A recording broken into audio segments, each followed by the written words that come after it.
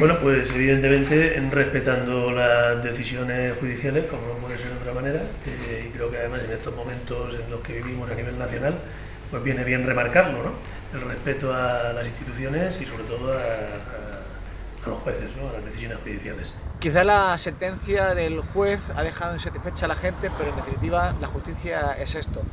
Pues eh, acatamos la resolución judicial, como no puede ser de otra forma, pero lamentamos que eh, una historia que ha tardado demasiado en resolverse pues, eh, y que ha tenido unas consecuencias políticas y económicas en nuestro municipio, judicialmente no tenga el mismo, el mismo, el mismo efecto con independencia de la verdad judicial eh, que señala la sentencia, hay una verdad política, social y científica, y es que ha habido una corrupción política que ha destrozado Orihuela, y esto es innegable y lo sabe la mayor parte de la población.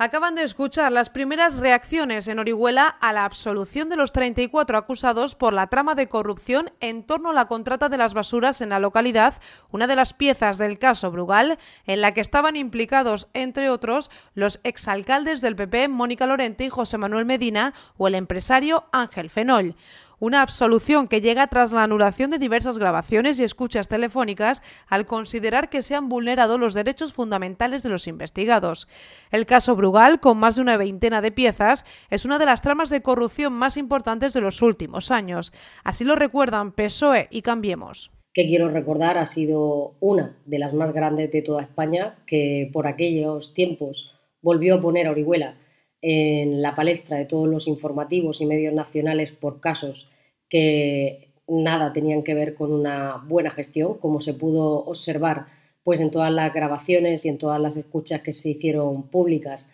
después del secreto de sumario. Un juez puede estimar oportuno o necesario anular unas grabaciones o unos vídeos, pero desde luego los lixiviados, eh, la pérdida de, dinero público y el destrozo económico, moral, medioambiental y político que supuso el caso Brugal, eso no lo puede anular ninguna sentencia porque es un hecho incontrovertible y que tenemos que recordar para que no vuelva a repetirse. Para Cambiemos Orihuela, este modelo político todavía continúa presente en muchos municipios de la Vega Baja. La formación ha anunciado que instará al ayuntamiento como acusación particular a recurrir esta sentencia algo que pone en duda el alcalde Emilio Vascuñana, a quien los técnicos y representantes judiciales le han trasladado que esta sentencia es precisa, extensa y muy clara, tanto en el fondo como en la forma, razón por la que descarta en un principio recurrir. Voy a esperar eh, con el tema del recurso, a ver qué pasa en el futuro, a, los informes definitivos de, de la asesoría jurídica, de los servicios jurídicos municipales.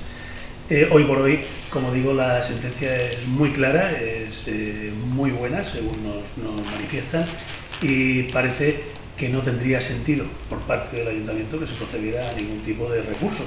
No obstante, habrá que esperar a ver qué hace la Fiscalía y yo entiendo que la Fiscalía, eh, trabajando en defensa del interés público, creo que es más que suficiente y no debemos de replantear como ayuntamiento nuestra participación en, según en qué casos eh, como acusación particular. El alcalde ha destacado la buena actuación del ayuntamiento que ha evitado que les condenasen en costas y ha lamentado la lentitud de la justicia. Lamentamos, como no puede ser de otra manera, el tiempo